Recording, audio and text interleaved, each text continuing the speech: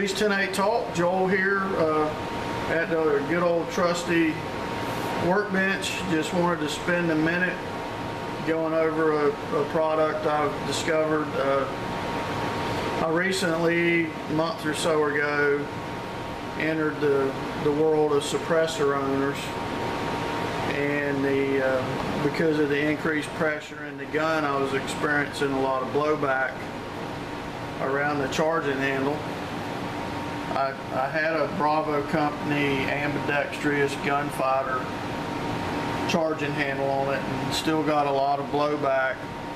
So uh, ended up going with a company called Armageddon Tactical.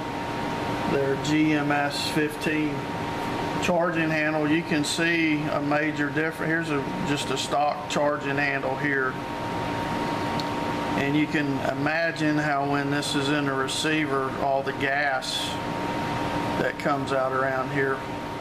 Well with the with the Armageddon one with the hood over it it uh, redirects the gas away from you. As I said this is the Armageddon Tactical GMS 15 Gen 2 charging handle. It is uh, ambidextry. It has the GMS stands for gas management system.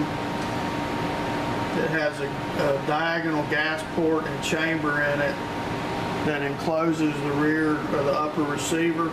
It uh, blow, uh, redirects the blowback gas away from the, the shooter. It uh, fits AR-15s, M16s, M4 style weapons, uh, anything chambered in 5.56, 223, 9 millimeter, 300 blackout.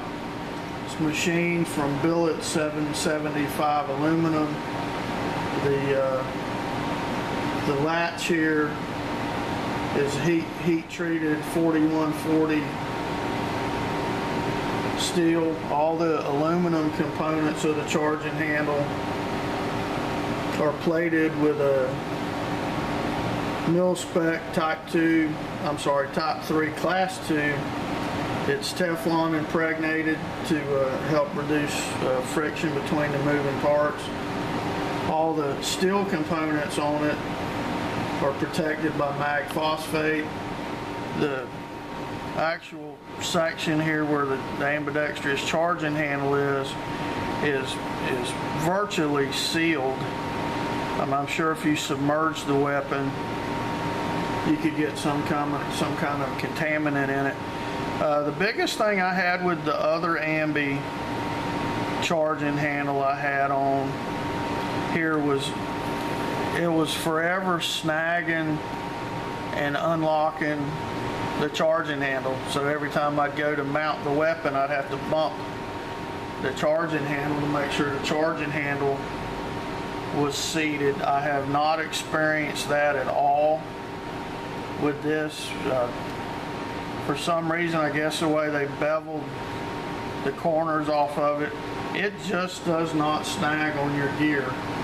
Uh, give you an example, I've got my upper here from my M4. I'm just going to move it around a little bit.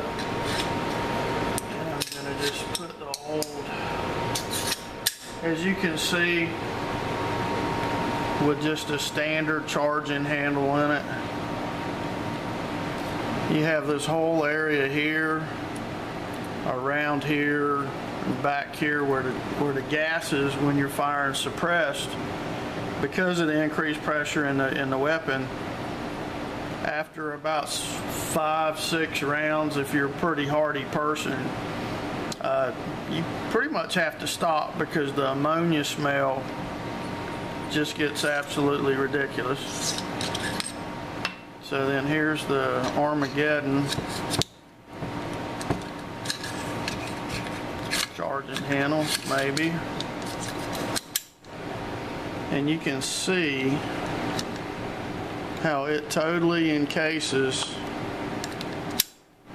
this rear section and it redirects the gases through these channels and redirects everything back out the front. Uh, I got this one, uh, and this is an ambidextrous unlock button here on the rear. Like if you lock open on a, uh, if your bolt locks to the rear on a mag or anything, and you need to get the charging handle forward, you can get it with this big central button. You can get it either side. It, doesn't have any flex in it. I've charged off of both sides with both hands.